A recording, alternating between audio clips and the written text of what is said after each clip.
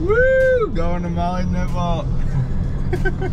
We're gonna go right up there.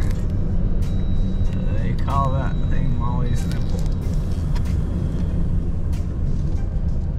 Anyway, it's uh, you can actually hike up there, but we're gonna drive up there.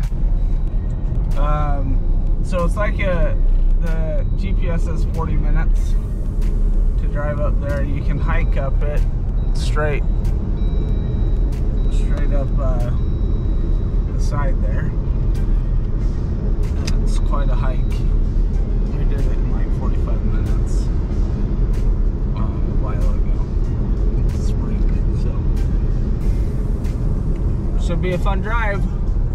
Woohoo! Woo! We got Orphan Boy Zach here with us. Yeah! Picked him up off the streets.